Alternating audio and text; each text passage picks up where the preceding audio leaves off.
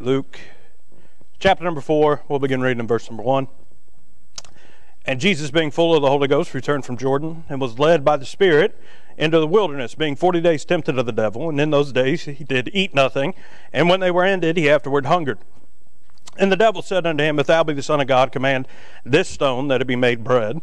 And Jesus answered him, saying, It is written that man shall not live by bread alone, but by every word of God. And the devil, taking him into an high mountain, showed him unto, uh, showed unto him all the nations of the world in a moment of time. And the devil said unto him, All this power will I give thee, and the glory of them, for that is delivered unto me, and to whomsoever I will give it. If thou therefore wilt worship me, all shall be thine. And Jesus answered him and said unto him, Get thee behind me, Satan, for it is written, Thou shalt worship the Lord thy God, and him only shalt thou serve. And he brought him to Jerusalem and set him on a pinnacle of the temple and said unto him, If thou be the Son of God, cast thyself down from hence, for it is written, He shall give his angels charge over thee to keep thee, and in their hands thou shalt bear thee up, lest at any time thou dash thy foot against a stone. And Jesus answered, answering said unto him, It is said, Thou shalt not tempt the Lord thy God. And when the devil had ended all the temptation, he departed from him for a season. Okie dokie, we'll stop there. Now, I need to give you a few disclaimers. Uh, quick question. Anybody here today not believe or would argue with the statement that the Bible is the preserved Word of God's and they are exactly as God intended them to be written? Anybody got a problem with that? Didn't think so. If you do, see me after service. That'll be about an eight hour long Sunday school lesson, but we'll get there. We will get there. Second, uh, anybody have a problem with the fact that God is omnipotent? That means He's got all power. Uh, that He's omniscient, that means He knows everything. And that He's omnipresent, that means that He's everywhere at once. Anybody got a problem with those things? Okay, remember that nobody had a problem with that. Because I don't want to get stoned by the end of this. Okay? But remember those two things. Okay? I gave you an opportunity to leave if you didn't agree with either one of those statements. Okay? Now, in this passage, very familiar portion of Scripture. Now, I have heard it misrepresented when people have taught or preached out of this chapter that the devil came to Jesus at the end of the 40 days of fasting. That's not what the Bible says. Look in verse number 2. Being 40 days tempted of the devil. Devil's after him from the moment he started fasting. Why? Because look at verse number 14. And Jesus returned in the power of the Spirit into Galilee. In other words, he showed up with more God on him outwardly than had ever been expressed before. He was God. He, he had God all over him because he was God. But just like when he was baptized and the Spirit descended in the form of a dove and landed upon him, okay, here he shows back up ready to begin his outward earthly ministry in earnest. And he's just got the power of God showing out on him. Because for 30 years, there were glimpses, like when he was 12 and he went into the temple and he dumbfounded all the scholars and was answering questions that they had about the Bible. Okay, there were moments where he would let a little bit shine through, but here he says, okay, it's the Father's timing, we're ready to go. That's why he went to go fast to get his you know, body prepared for what was about ready to happen. Because we know he was robed in flesh just like us. But that flesh was just made out of the same stuff that we're made of, Brother John. He had to get that thing ready for all the nights that he would go without sleep. And he had to get his body ready for the endeavor that he would. You want to track how far Jesus went in three and a half years and tell me that if we did that today, we wouldn't be worn out.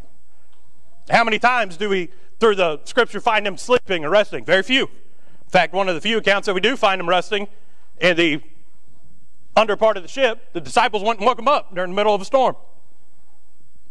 Right? He went through a whole lot in three and a half years physically. And he was preparing. He was asking God. He was fasting. He was saying, Father, strengthen this corrupt flesh. Okay, because he was just made out of dust like you and I. That body couldn't really conceal who he was. You can still tell that he was the Son of God. They said, Never a man spoke like Jesus. Right? Didn't his heart burn within us? As he walked with us, as he talked with us. Right? He spoke, devils were cast out of people because his voice was still the voice of God. Right, but when he went up on the Mount of Transfiguration, that flesh disappeared real quick. Because if he wanted to really show who he was, the flesh would have had to go away.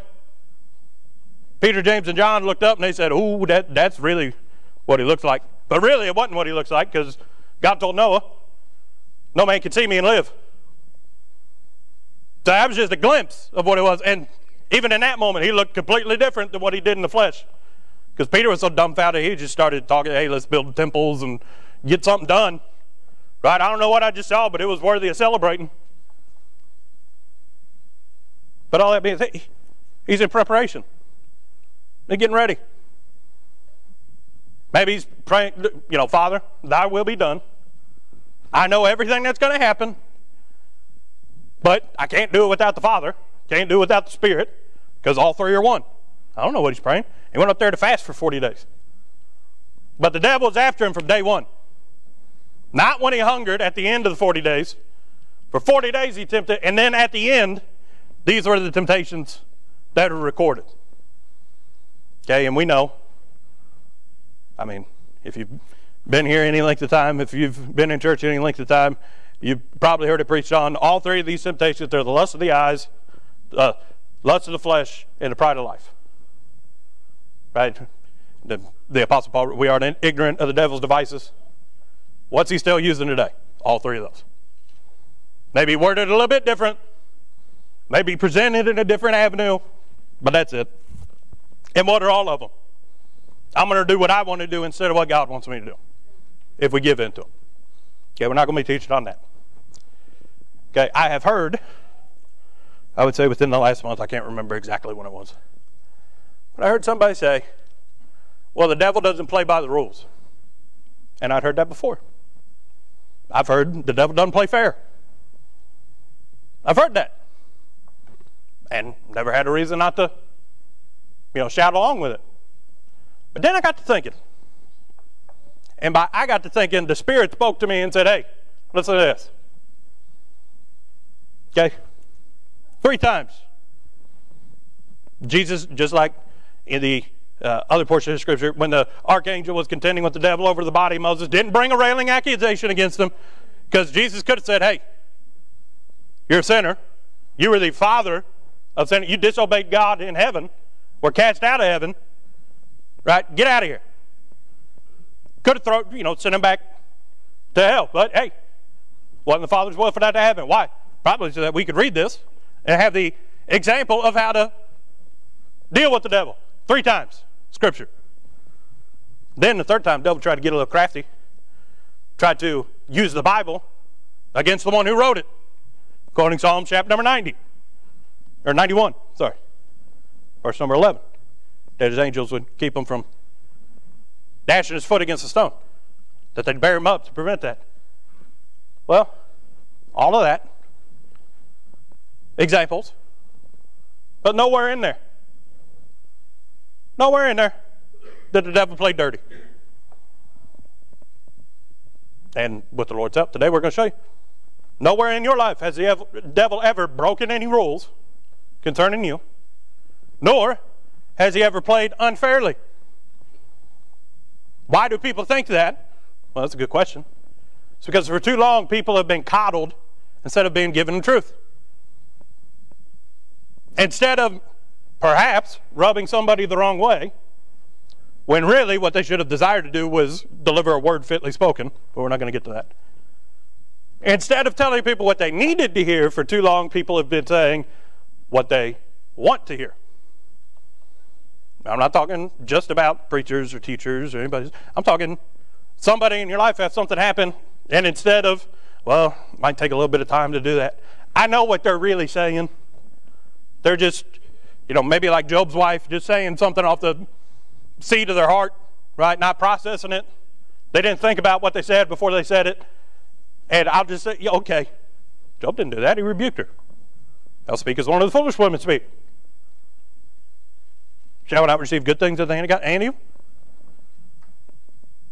Right? But for too long, people have been blaming the devil for breaking the rules and then using it as an excuse to not confront what has entered their life.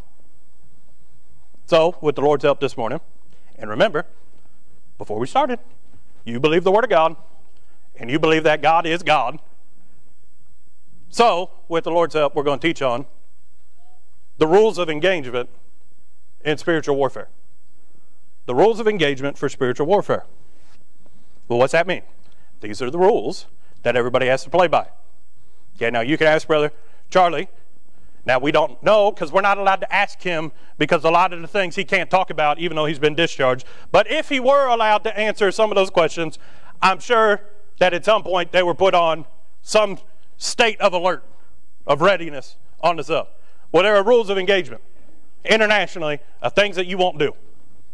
Because according to the Geneva Convention, those things are considered, you know, unhumane or they're considered cruel and unusual. I'll give you one example. They don't have three-sided bayonets anymore. You know why? Well, uh, take that back. Civilized people that abide by the Geneva, they don't have three-sided bayonets anymore on the end of their gun because a three-sided wound never heals. You can stitch it together, but there's always going to be a gap. And more times than not, it turned gangrenous or it would get, become septic, and then that person would die from a simple stab wound. That if it were a straight blade that only had two edges on it, that would heal rather well. Okay, other things, chemical warfare, things like that. Okay, civilians, all of that, rules of engagement. Well, for spiritual warfare, it's the same way. Who said it? God. From the beginning, God's had an order to things. Long before he ever made man. If God didn't have order when he said, let there be light, there wouldn't have been light. Because he has all power, which means he has all control. And his control was set forth in order. What's that? Holiness. He accepts holiness and he rejects unholiness. But when you reject or you don't do ways according to what God said, what is that? That's disobedience. That's unholiness. Because you didn't do what the Holy One said to do. Because he said, that's what's holy. Be ye holy, for I am holy. Those are our rules of engagement. We're supposed to do what God tells us to do. We're supposed to do it with all our heart, all our soul, all our mind, all our strength, everything we got. We're supposed to strive to do what God desires us to do. Okay, but too often we don't think about the rules of engagement that God put in place on the devil. Okay, look with me, if you will, down into verse number six. This is after he showed him all the kingdoms of the world. All this power will I give unto thee, in the glory of them, for that is delivered unto me, and to whomsoever I will give it. Well, what's that mean? Doesn't say that the devil took it. it says it was delivered unto him. And he can give it to whoever he wants to. Wrong. Bible says that nobody comes to power except it's the Lord's will. That he's the one that sets people on thrones. Now, God may put someone on the throne that the devil wanted on the throne, but it's not for the devil's good, it's for God's good.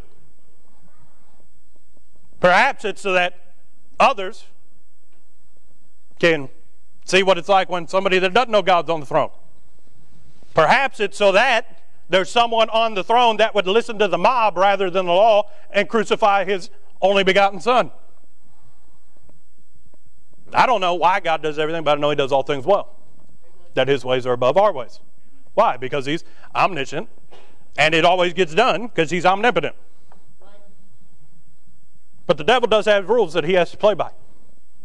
And when you say, well, it just wasn't fair, you're not saying that the devil doesn't fight fair. What you're saying is, is that God let the devil do something to you that you didn't deserve. Or that God let the devil do something to you that you weren't prepared for. Or that the devil cheated. That's not what the Bible says. When you say that, well, that's, you know, he, he doesn't play by the rules, that means that he's got more power than God. That's not true. What you're really saying is, well, when it's unfair, he doesn't play by the rules. What you're saying is, is that God's not big enough to stop the devil from doing what he just did. That's heresy. If anybody taught that from behind this pulpit, they'd be thrown out the door by our pastor before they finished the message. Why? Because if Lucifer had the ability to do things that God didn't want him to do, God wouldn't have been able to throw him out of heaven. As Isaiah wrote, Lucifer, fallen from his former state, cast out of heaven with a third of the angels. Why? Because he tried to usurp the throne of God. He tried to do that, but he failed. If that were true, book of Revelation wouldn't have been able to have been completed. If the devil had more power than God, God wouldn't able to be able to bind him for a thousand years during the millennial reign of Christ. God wouldn't be able to, throughout, you know, the end time, when he brings them before the judgment seat and then he casts them off into the lake of fire forever, that wouldn't be able to happen. If God didn't have more power than the devil, or if the devil was able to break the rules whenever he wanted, right? Daniel wouldn't have made it out of the lion's den. Those three Hebrew children wouldn't have come out of the furnace. Israel never would have left the bondage and captivity of Egypt. In fact, I dare say, if the devil were able to break through, Cain would have been the one that carried on the lineage, and then that would have nipped it in the bud. Everything that God had shown Adam and Eve and taught Adam on sacrifice, it all would have been lost. But why didn't that happen? Because the devil has to play by the rules. He gives rules. God gives rules to the devil. Don't believe me? We don't have time to read it all. Go over to Job, chapter number one. Came on a day. On that day, the devil came. God asked him what he's doing. He was walking up and down and to and fro in the earth. He's seeking someone that he may devour, as Peter wrote. Right, our adversary. That means the one that we're contending with. Someone that's pulling the opposite direction that we are. Okay, now, came on a day. Whatever the devil planned on saying, he didn't get to say that day. God said, Has thou considered my servant Job? The devil said he blessed him too good. Then twice, on that day and then on the second day, God put limitations on what he could do, and the devil couldn't break those limitations. You don't think that the first time the devil wanted to smite Job with boils? Wanted to make him so miserable on that first day when his children were dead, when he lost everything that he owned, that he just wanted to quit, but God said, Nope. You can touch everything that he owns. Then the next time he said, You can have everything but his life. And both times the devil couldn't break it. Now, does the Bible not say that God is just the same yesterday, today, and forever? So, Job, granted, had a bad day. Had a very bad day. But there is a gap between those two days. You're going to study it out. It failed, or it came to pass on a certain day, the first time, that the devil came before God for whatever reason the devil was going to do to accuse those that you know followed after God. He's looking for imperfections in the people of God. And then God said, Hast thou considered my servant? Then there was a second day. It came, fell on another day that God said you can have everything but his life. Now, do whatever you want, just don't kill him. There's a gap in between those two days. You're telling me that in those two days, Job didn't do a little bit of inward reflection? Asking, Lord, did I miss a sacrifice? Was there something that I did wrong when preparing the sacrifices for me or for my children that would cause the sin sacrifice not to be accepted? Lord, am I in your perfect will? He's going back and he's looking, but I, I didn't do this, I didn't, I didn't do that. He's taking inward thought. Now, it's natural to have those thoughts. Right? What in the world is going on here? But our first reaction should not be, well, the devil just didn't, it caught me off guard, so the devil must be playing unfairly. That's not what the Bible says. The devil did everything that he was allowed to do. And that are his rules of engagement. He can do everything that God says he can't do, and he can't do anything that God says he can't do. So to say that it wasn't fair means that God didn't know what he was doing. Our rules of engagement, very simple. Do what God tells us to do. So, if we're doing what God tells us to do, and that's what Job probably did. You know, so he's inwardly reflected. Lord, is there something in my life you're more proud with? That I did wrong? Is there something that took more priority in my life than you? But verse number one tells us that it wasn't that way.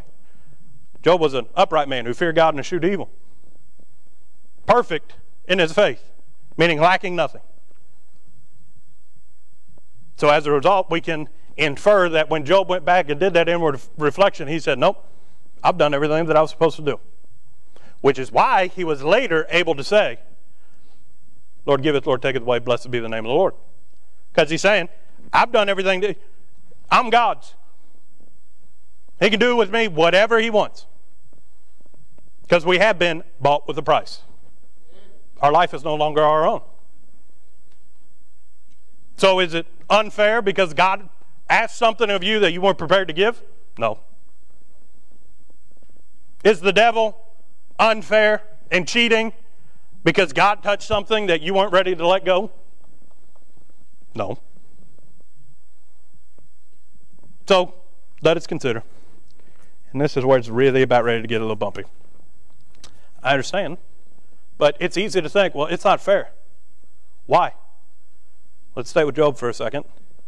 Why isn't it fair? Because my loved one didn't deserve to die. Yeah. Those thoughts, very easy to come about. Many people get bitter on God, leave church because someone that they knew or was close to died.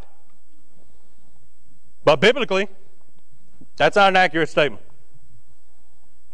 And this is where, as we've said, people just trying to consult, being good, to, trying to be sensitive and helping them, saying, you know what, you're right, they didn't. Well, had they ever committed a sin?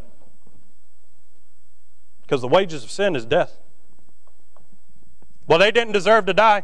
You're right, they deserved to be in hell from the moment that they took their first breath. But it was only by the grace of God that that didn't happen. Did they know God? Then they're in a better place. Maybe they desired to do something more for God, but God said, I can get glory and honor out of bringing you home. Then glory be to God. It may hurt you. Doesn't say you can't grieve. I haven't said that, you know, the grieving process, there is a garment of praise for the spirit of heaviness. That means even when you're broken, you can grieve, you can process it, but you can still say, God still deserves the praise and glory for it. But too many people say, well, that just wasn't fair. According to who? You? Are you saying you know more than God? Are you saying that God let one slip through the crack? And I know, not easy to hear. Trust me, harder to preach. Because I'm still looking for stones to start coming in from corners. But to say, well, it wasn't fair to take them. But we have to understand why. Why did they? Wages of sin is death. There's none righteous, no, not one. We are all sinners. Our righteousness is filthy rags. Yes, we deserve to die.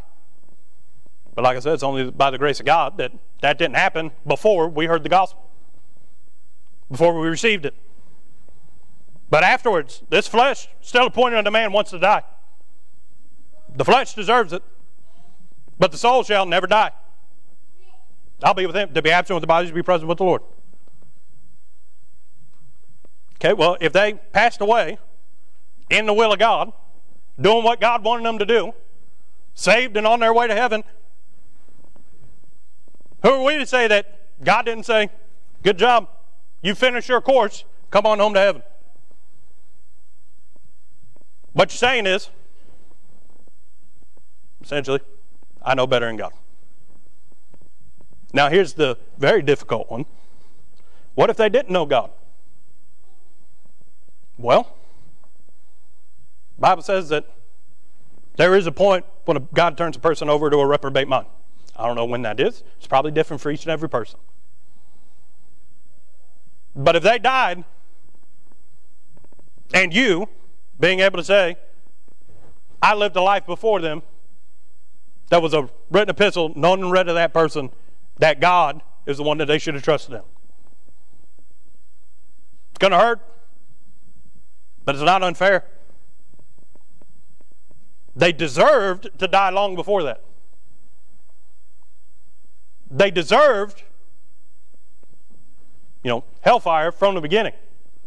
And if God, by His grace, allowed you to witness that person, give them the gospel, yeah, it's going to hurt. Yeah, you're not going to get them back, but that's not your fault. That wasn't the devil taking one too early. If God gave them a chance, which the Bible says that man knows in his soul that there is a God. We should, from the moment that we reach the age of accountability, be searching for God, but so many aren't. But if we shined a light and they didn't receive it, that's not on us. That's not on God. That's not on the devil. That was their choice. Okay, let's move on. Nowhere in that is the devil playing by rules that God didn't pen. It is one of those things of order from the beginning. Be not deceived, God is not whatsoever man soweth, that shall he also reap. Sin brings death. Maybe not when we want it, but it's coming regardless. That's why Jesus said, Look into the fields that are white already to harvest. We don't know when the wheat's going to fall. We don't know when that plant's going to be time to be hewn down. That's why we just need to go. But just because someone that we didn't expect to be taken is taken, doesn't mean that God's not fair. Doesn't mean that what we've been called to do is unreasonable. What it means is that there's a reason for everything. And just because I don't understand it doesn't mean that the devil's unfair or that he's playing by rules that God didn't authorize. But let's move on before I get stoned. Well, it's not fair because of the financial trouble. It's not fair because, you know, this part that I'm okay with it, well, you know, let's be honest. Well, I don't know. Then again, who here could live without Wi Fi? Everybody's hand should go up. But how many people are willing to go without Wi Fi? Very few. How many of us could live without electricity? Everybody's hand should go up. Not everybody's will. Right? The Bible says, having food and raiment to be content therewith. And godliness with contentment is great gain. Now, he has blessed us far but pressed down, shaken, bubbling over. Far better than we deserve. But if something were to happen to where, oh no, I've lost that. Or, oh no, I don't know where it's going to come from so that I can continue to have everything that I currently have and am comfortable with. What you're saying is, is that first, God's grace isn't sufficient for you. Just because financial trouble comes, does that mean that the devil has stopped God's grace or weakened God's grace? Brother James sings that song, and Sister Renee plays it and sings along with him. There's nothing greater than grace. We shout the house down, but do you believe it? Do you live it? Because according to the rules of engagement, God's grace is sufficient. He can do anything. That means He can remove something from my life if it's for His honor and His glory. Well, you say, well, how am I going to make it? Well, maybe you had too much faith in what you were relying on for you to make it. The devil didn't touch something that God said that he couldn't touch. God probably took it out because you were too attached to it. Because he said, okay, if you want to come to me, this has to be removed out. I remember Brother Randy teaching long ago in Sunday school on be careful what you wish for, and one of those things being patience. And he said he never knew what he was asking for when he prayed for patience. But when we say, Lord, I want to get closer to you, we may not know what we're praying for. But just because something is gone one day, or just because we go to get the next payment or go to put gas in the car, and then we put the card in and it says decline. Well, what happened there? Pull, you know, check the checkbook register. No, should have money. Go and pull up the online portal. Well, where'd that come from? Why'd that come out on this day? Because God said it needed to. Or God allowed the devil to take it out on that day. But regardless, that doesn't change the fact that my faith is in God. All right, Lord. What now? Those that wait upon the Lord shall renew their strength. Those that start panicking are going to lose all their hair or probably pull it out. And how many times have we heard a preacher had people testify long before we knew there was going to be a problem? God had already sent the answer. But what are we required to do? Having done all to stand, stand therefore. As a good soldier of Jesus Christ, endure hardness. We are meant to endure tough things so that the people in the world can see, oh, what they've got actually works. If I had a miracle cure all pill and nobody ever took it, why would anybody believe that it works? If I had something that could fix any problem in your life, but I never gave it to anybody, or I never had anything bad happen to me to prove that what I've got actually works, why in the world would you even care? Stop and listen. But let's move on. Well, that wasn't fair because I wasn't ready for it, or that was too strong. Something happened, whether people, whether opportunity, whether circumstance. That happened, and it just wasn't fair. Well, I read that God doesn't tempt us, but in times of temptation, He doesn't let us be tempted above that which we are able. What's that mean? He doesn't let us be tempted with something too strong for us to deny. Well, what's that? He tells the devil, nope, can't tempt him with that. Might be able to tempt him with that, but only up to this point. You can present an opportunity for him to step out of the will of God, but stops there. And then he says, oh, by the way, you got to put in an escape plan. So when you say, well, I wasn't ready for it, that wasn't fair, you're saying that God broke one of his promises to you. That God didn't keep his word. That he loved, let you be tempted to the point where you couldn't resist it anymore. And that would make him an unholy God, and our salvation would be worthless. But in every temptation, there's a way of escape. But really, what we're saying is, is I wasn't prepared for that. Well, whose fault is that? He gave us the whole armor of God. He gave us everything that we needed to prepare ourselves. So if you weren't ready, doesn't mean that it wasn't fair. It means that you've neglected your duties. Maybe you woke up that day and you put on the breastplate, but you didn't have your feet shod with the preparation of peace. Maybe you put on the helmet, but you didn't, above all, take the shield of faith with you. But Jordan, that's mean. No, this is Bible. The word is a sharp, two edged sword. There's a whole bunch of other examples that we could have given. But it all boils down to this. The word is a sharp, two edged sword, and we started off in the beginning, the rules of engagement, those three edged blades, those don't heal. Well, the cuts that the Bible does make to the flesh, God heals them, and He replaces them with spirituality. If the devil did damage to us, never would heal. If God allows the devil to do damage to us, he's got a balm of Gilead to already heal it. But the wounds that this inflicts, the things that we don't like to hear, the people that the things that people stop telling others because they didn't want to offend them or they just wanted to be nice to them or they weren't quite sure how to get the point across. Study to show thyself approved unto God, a workman that needed not to be shamed, rightly dividing the word of truth. So this two-edged sword, when it cuts, God puts something better when he heals us, when he fixes it, when he mends it. Get this out so that I can add more of me in your life. So when somebody says it's not fair, or well, that didn't go by the rules, one of three things has happened. One, we need to ask, why did it happen? Remember at the beginning, what's our job? Be in the will of God and to do what God wants us to do, day in, day out, second of the day, every second of the day, to the best of our ability. But God does chasten His own. So why did it happen? Like Job, do you take that moment of reflection and say, Lord, have I done everything correct? If yes, then okay, go to box number two. But if not, whose fault is it? It's yours. Because of iniquity, unequal dealing with God, or because of sin. If I sin, I will be punished. Again, be not deceived, God is not mocked. Whatsoever man soweth, that shall he also reap.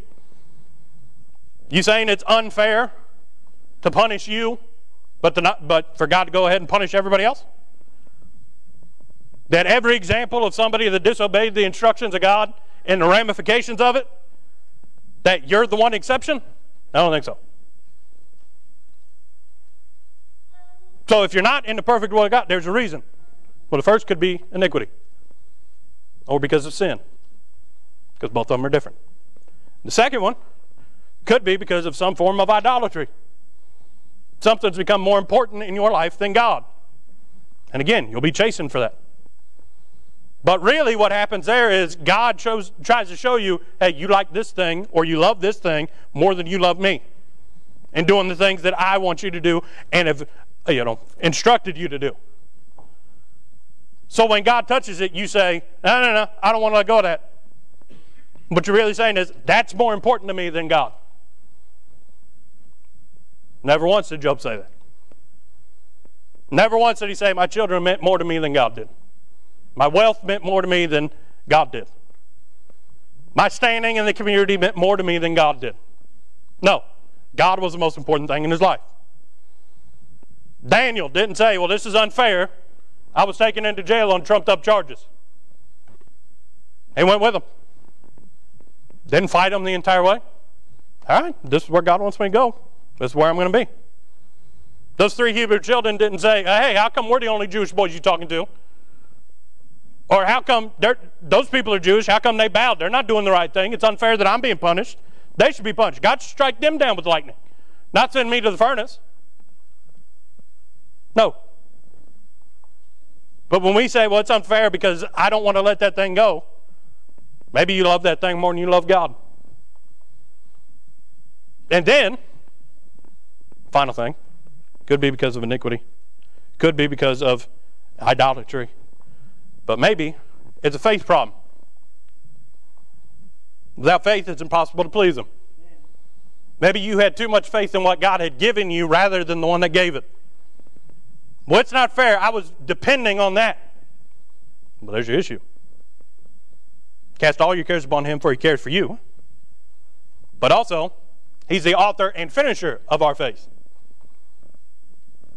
If I'm trusting this to help me do what God wants me to do, I'm trusting the wrong thing. I should trust God to help me do what God wants me to do. And Him only. So if God took it and I was thinking, well, I needed that to do what God wanted me to do, no, He didn't. But you had gotten used to it. It had become convenient to use that to try and do what God wanted you to do. And God's saying, I don't want that to do what I want you to do. I want you to do what I want you to do. And I don't want you to trust in maybe others, maybe in the things that you have. Okay, I'll give this example. Y'all can stone me. As far as I know, I have never claimed my tithes as a tax deduction. This is a personal conviction. This is not Bible. But I will explain to you biblically why I believe it. Because in order to do that, in my mind, what I'm saying is, okay, God, you can have this until I need it back when it's time to go pay my taxes. Because as a credit, you're telling the government, hey, you can't do this, which really means I made, in the government's eyes, 90% of what I'm really made, and then some because of an offering. So I'm lying to the government saying, I don't need to pay you taxes because I didn't make that much, I just made this much. Well, the Bible says take the first fruits into the storehouse and then watch and see if he doesn't open the windows of heaven and pour out a blessing on you. Now, I'll take every other deduction that the IRS gives me because they gave it, and I'm going to take it. But I won't take the t- why? Because I'm saying, well, God, you can have this, and I have faith that you'll get me through till April, and then I'll get it all back then in tax season, and then, you know, it'll all work out, and I'll probably get a nice little refund out of it too. What I'm saying is, I trust God with 90% that he can make that last until I need that other 10% back. Now you say, well, Brother Jordan, again, I can understand how you would look at it and say, well, no, God's just rewarding obedience of getting in the tithe and made it away in the tax law in order for us to get the tax credit for it. That's what you believe. There's no Bible on either one of them. But I just believe I'll trust God with the 90 out of the 100 and then when the Bible says to obey the ordinances and the laws of the land, I'm not going to tell them, well, no, I didn't really make that much because that's what I made. That's what God blessed me with, and I'm not ashamed of it. So I'm just going to claim it all and trust that God will make that 90 even if I got to pay tax. That He'll make that go a whole lot farther than what I would have been able to make bit and the tax refund and then essentially lying to the government and saying, well, no, I didn't make that much because I gave money away. I didn't give that money away. That was God's money. And he gave it to me, because he could trust me to give that back to him. And then he blessed me with this 90, and it's gotten me through the end of the year. That's what I'm claiming. That's what I'm living off of because that's what God gave me. Some people, they, if you can't get over that that tenth belongs to God, if that 10% means more to you than God in your life, those are the people that say, hey, that's not fair. Where's, where's it going to come from? Or when something happens, well, I guess that means that, you know, I'm not going to be able to tithe this week. Get ready for a rough week. Get ready for a whole lot more trouble. Because the devil does play fair. He has to play by the rules that God gives him. And they're the right rules because he's God. So when we say it's unfair or the devil doesn't play by the rules, our issue's not with the devil, our issue's with God. And it's a heart problem. So the next time that something happens, and our, and our first instinct is to say, well, that's not fair, or why did that happen? I'm sure this will be on YouTube at some point, unless I said something and Brother Aaron's going to come up to me afterwards and say, well, we can't put this up on the YouTube now. But the next time you have them talk, give it another listen. Everything's fair. And I promise you, on the other side, you'll look back and see why it was fair, and God will get the honor and glory for it. But to give the devil credit, or to give the devil, you know, some say give the devil his due. No, he doesn't deserve anything. He deserves hell. And everything that he does to me wasn't his design. God allowed it. And I believe that God's going to get me through it, or else God wouldn't let it, let it happen to me. He's not going to let me go under so that the devil can get credit for it. Do you struggle to find good Bible based resources to supplement your personal devotions? If so, head on over to ibcflorence.com today and click on Bookstore, where we have a ton of resources. And as always, thanks for listening.